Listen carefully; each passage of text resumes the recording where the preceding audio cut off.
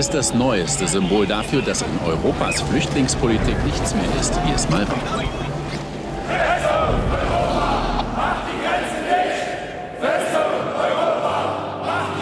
Sie sind keine Bedrohung für Europa. Es ist einfach eine Konstruktion, dass die eine Bedrohung sind. Du erzählst ja einen Scheiß, wenn du taglang du. Versuch des Einschleusens von Ausländern als Vereinsvorsitzender von Mission Lifeline. In dieser Strafanzeige wurde der äh, Vorwurf äh, des Einschleusens von Ausländern erhoben. Also die Gefahren sind da vielfältig für die Menschen, äh, die da auf der Flucht sind.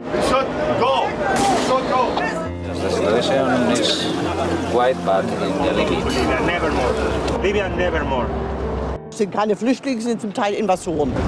Herzliche Grüße aus Malta. Wir fahren jetzt gleich Richtung libysche Küste. Und da können Sie mal sehen, was wir machen.